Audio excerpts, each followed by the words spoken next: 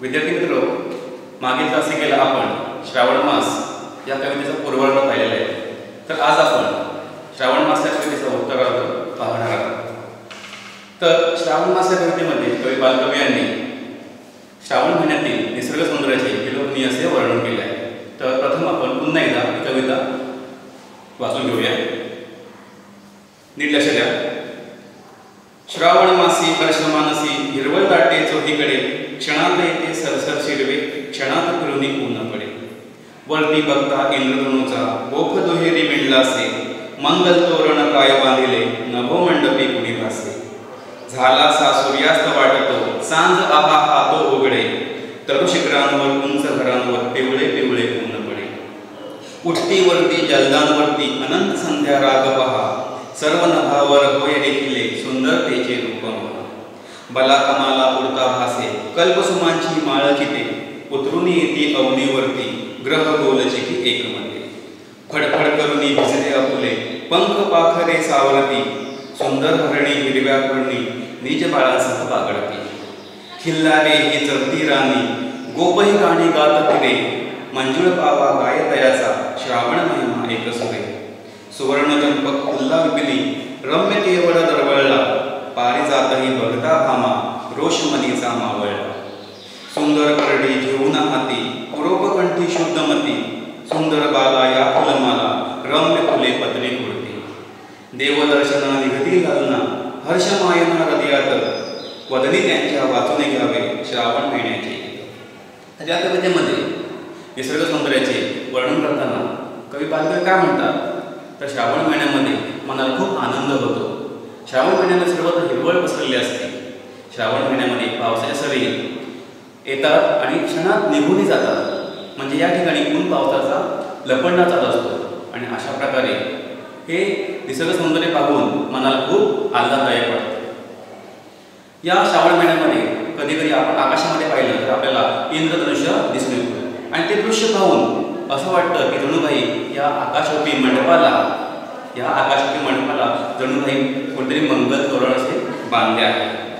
कधी कधी असं निसर्ग सौंदर्य दिसून येते की आकाशामध्ये ढग दाट येतात आणि त्यावेळी वाटते की जणूभाई या ठिकाणी सूर्यास्त झालेला आहे. परंतु ते ढग निघून जातात आणि त्या ठिकाणी क्षणामध्ये सूर्याची किरणे पडतात. आणि त्यामुळे ही किरणे त्या तरुशिखरावर व उंच उंच अशा घरांवरती आपल्याला दिसून येतात त्याच प्रकारे आकाशामध्ये ढगांचं असं काही सौंदर्य तयार होतं की ते ढग पाहून असे वाटते की जणू काही ते ढग हे संध्या राग गात आहेत. आणि ते दृश्य पाहून असे वाटते की कुठेतरी एका महान कलावंतानं त्या ठिकाणी सुंदर असं चित्र रेखाटलेले आहे.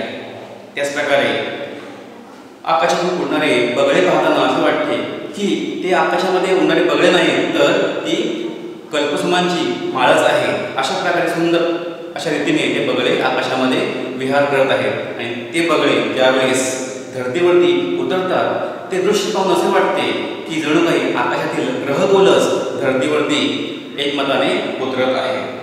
तिथपर्यंत आपण काल कविता पाहिली होती. तर यापुढे या श्रावण महिन्याचं वर्णन करताना कवी बालकवी काय म्हणतात बघा. फडफड करुणी भिजले आपले पंख पाखरे सावरती. फडफड करुणी भिजले आपले पंख पाखरे सावरती. सुंदर हरणी हिरव्या करुणी निज बाळांसह बागडती तर या श्रावण महिन्यामध्ये पशुपक्ष्यांचे वर्णन करताना कवी बालकवी काय म्हणतात? तर या श्रावण महिन्यामध्ये नुकतेच पाऊस पडून गेल्यानंतर जे पक्षी भिजलेले आहेत ते भिजलेले पक्षी आपले पंख फडफड करून सावरण्याचा प्रयत्न करत आहेत. त्याच प्रकारे सुंदर हरणी आपल्या लहान पारसांसोबत निज बाळांसोबत हिरव्या कोणामध्ये आनंदाने बागडत आहे. फडफड करुणी भिजले आपुले पंख पाखरे सावरती सुंदर हरणी हिरव्या कोणी निज बाळांसह बागडतात अतिशय सुंदर असे त्यांनी पक्षी आणि त्या हरणांचं वर्णन केलं. त्याच प्रकारे ते काय म्हणतात बघा? खिल्लारे ही चरती राणी खिल्लारे खिल्लारे म्हणजे गायी जोडे Hillary.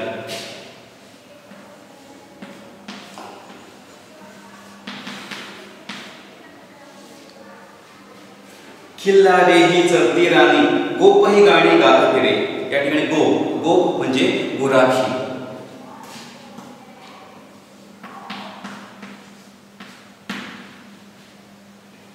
सुंदर हरणी हिरव्या हरणी बीज बाळासह खिल्ला रे ही चरती राणी गोपई गाडी गात फिरे मंजुळ पावा गाय तयाचा श्रावण महिमा एक सुरे.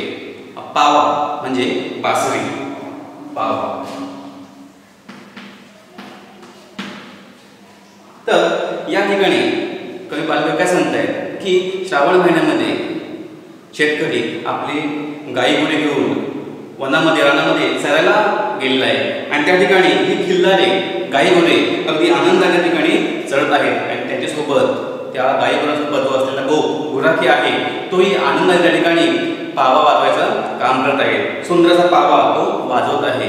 आणि त्या पाव्यामधून त्या बासरीमधून अगदी सुंदर प्रकारे तो श्रावण महिन्याचं जणू काही गीतच गात आहे. सुवर्ण चंपक फुल्ला विपिनी रम्य तेवडा दरवळला. पारिजातही बघता भामा रोषमणीचा मावळला. आता चंपक म्हणजे चाफा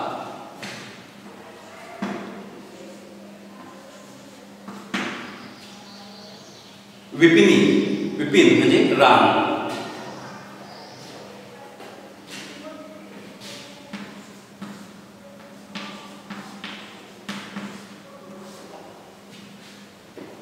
केवडा म्हणजे केतकी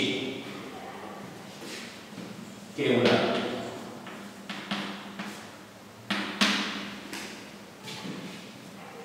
बघा सुवर्ण चंपक फुल्ला विपणी रम्य केवडा दरवळला पारिजातही बघता भामा रोषमणीचा मावळला. आता या ठिकाणी भामा भामा म्हणजे श्रीकृष्णाची पत्नी सत्यभामा. भामा.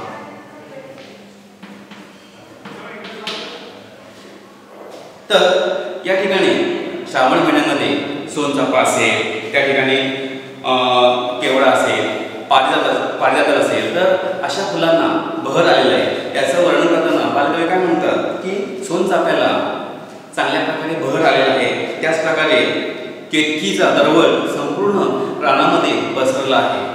पारिजातकाचं झाड सुद्धा अगदी चांगल्या प्रकारे फुलून आलेलं आहे. ज्या पारिजातकाकडे पाहून श्रीकृष्णाची पत्नी सत्यभामा तिचा राग शांत झाला होता. त्या प्रकारे आपलंही मन त्या पारिजातकाच्या फुलाकडे पाहून निवळते. अशा प्रकारे त्यांनी केवळ असेल? त्या ठिकाणी पारिजातक असेल? सोनचाफा असेल त्याचं सुंदर वर्णन त्यांनी या कवितेमध्ये केलेले आहे. पुढील कड्यामध्ये काय म्हणतात बघा? सुंदर परडे घेऊन हाती पुरोपकंठी शुद्धमती सुंदर परडे घेऊन हाती पुरोपकंठी शुद्धमती आता पुरोपकंठी म्हणजे नगराजवळील बागेत पुरोपकंठी पुरोपकंठी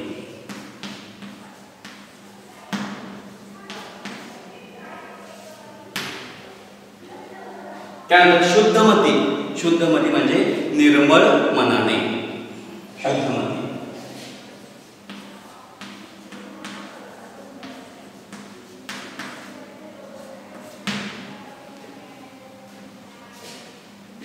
बाला म्हणजे मुली बाला बघा सुंदर परडे घेऊन हाती पूर्वकंठी शुद्धमती सुंदर बाला या फुलमाला रम्य फुले पदरी होती तर या ठिकाणी कवी बालकवी काय म्हणतायत?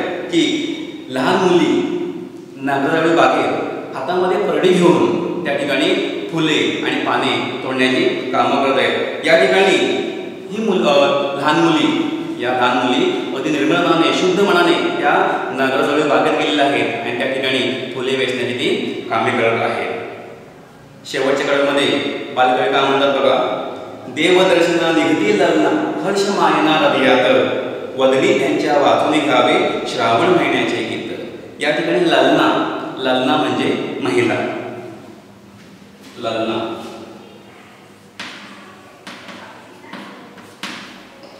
आणि माईना माईना म्हणजे मावत नाही माईना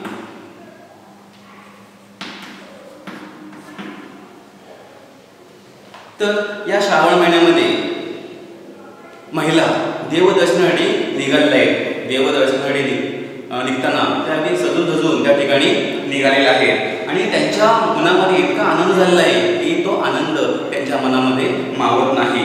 आणि हा आनंद त्यांच्या चेहऱ्यावरती आपल्याला सहजपणे दिसून येतो. हा आनंद किंवा ते श्रावण महिन्याचे गीत त्यांच्या चेहऱ्यावरती आपल्याला स्पष्टपणे कळून येते. अशा प्रकारे सुंदर असे वर्णन बालकवी यांनी श्रावण मासा कवितेमध्ये केलेले आहे. पुन्हा एकदा अघोता त्या ठिकाणी अर्थ आपण पाहणार आहोत बघा. तर कवी बालकवी यांनी श्रावण महिन्यामध्ये कशा प्रकारे निसर्ग सौंदर्य असतं त्याचं वर्णन करताना काय म्हटले बघा? की श्रावण महिन्यामध्ये मनाला खूप आनंद होतो कारण सर्वत्र हिरवळ पसरलेली असते. या श्रावण महिन्यामध्ये पावसाच्या सरी येतात आणि लगेच निघून जातात. त्या ठिकाणी ऊन पावसाचा लपंडाव चालू असतो. आणि हे दृश्य पाहून मला खूप आनंद वाटते. आकाशामध्ये जर आपण पाहिलं तर कधी कधी आपल्याला इंद्रधनुष्य दिसून येतो. आणि ते दृश्य पाहून असे वाटते की जणू काही या आकाशरूपी मंडपाला कोणीतरी इंद्रधनुष्याचं मंगल असं तोरण बांधलेलं आहे. याच प्रकारे कधी कधी आकाशामध्ये ढग जमा होतात आणि असं आपल्याला वाटतं की जणू काही सूर्यास्त झालेलं आहे परंतु ते ढग निघून जातात आणि पुन्हा एकदा तळशिखरावर किंवा घरांच्या उंच शेंड्यावरती ही सूर्याची किरणे पडून पडतात. त्याच प्रकारे कधी कधी आकाशामध्ये इतकं सुंदर दृश्य ढगाचं दिसतं की जणू काही ते ढग संध्याकाळ गात आहेत असे वाटते. आणि ते दृश्य पाहून वाटते की कोणी महान कलावंताने सुंदर असं चित्र त्या ठिकाणी रेखाटलेलं आहे. कधी कधी आकाशामध्ये आपल्याला बगळे उडताना दिसतात. ते असे अशा प्रकारे उडत असतात की जणू काही कल्पसुमांची माळच आहे ती आणि एकमताने त्या ठिकाणी ते उडत आहेत आणि ज्यावेळेस एकमताने ते बगळे धर्तीवरती उतरतात त्यावेळेस असे वाटते की आकाशातील ग्रहगोलच त्या ठिकाणी धर्तीवरती एकमताने उतरत आहे. त्याच प्रकारे पक्षी नुकतेच भिजून त्या ठिकाणी फडफड करून आपले पंख फडफडत आहेत आणि सावरण्याचा त्या ठिकाणी प्रयत्न करत आहेत. प्रकारे सुंदर हरणी आपल्या लहान पाडसांसोबत हिरव्या प्रणामध्ये आनंदाने बागडत आहे. त्याच प्रकारे खिल्लारे गाईगुरे वनामध्ये रानामध्ये त्या ठिकाणी चरत आहेत. त्यांच्यासोबत असला असणारा गो गुराखी हा सुद्धा आनंदाने त्या ठिकाणी पावा वाजत आहे. त्या पावामधून श्रावण महिन्याचे गीत गात आहे. त्याच प्रकारे सून चापायला सुंदर असा बहर आलेला आहे. त्याच प्रकारे केतकीचं दरवळ संपूर्ण रानामध्ये दरवळलं आहे. पारिजातकाला सुंदर असा भर आलेला आहे त्या पारिजातकाच्या फुलाकडे पाहून श्रीकृष्णाची पत्नी सत्यभामा हिचा राग शांत झाला होता. त्याच प्रकारे त्या फुलांकडे पाहून आपले सुद्धा मन निवळते लहान मुली आपल्या हातामध्ये परडी घेऊन नागराजवळील बागेत जाऊन फुले पाने तोडण्याची कामं करत आहेत. आणि या श्रावण महिन्यामध्ये ज्या महिला आहेत अगदी आनंदाने सजून त्या देवदर्शनासाठी निघालेल्या आहेत. आणि त्यांच्या मनामध्ये हा सगळा सगळा आनंद मावत नाही. त्यांच्या चेहऱ्यावरती हा श्रावण महिन्याचा आनंद आपल्याला दिसून येतो. श्रावण महिन्याचे गीत जणू काही आपल्या आपल्याला त्यांच्या चेहऱ्यावरती दिसून येते. अशा प्रकारे कवी बालकवी आणि श्रावण मास या कवितेमध्ये सुंदर असे निसर्ग सौंदर्य वर्णन केले आहे.